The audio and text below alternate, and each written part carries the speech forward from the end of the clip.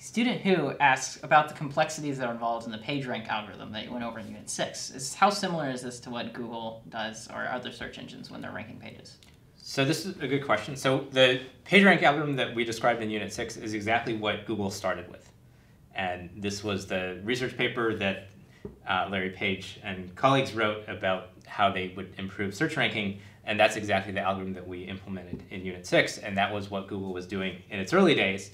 Things are a lot more complicated today. And a lot of the reason for that is, well, sites adapt. And you remember Anna Patterson was talking about how sites adapted to the way AltaVista was ranking by putting lots of copies of the same word on the page to try to show up top in the rankings, and this started to make the results less useful.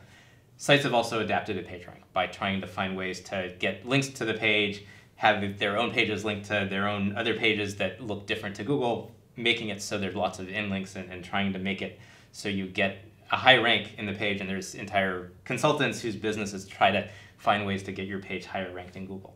So that means that for PageRank to continue to work, well, they have to take into account more things. So they look at things like how things appear in the page, they look at other contexts, they look at um, other information, not just the link structure.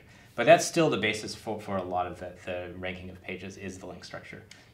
And you can see um, evidence of PageRank on kind of what the search results you get when you're using Google. It's very, very common that Wikipedia is one of the top three results on almost anything you search for.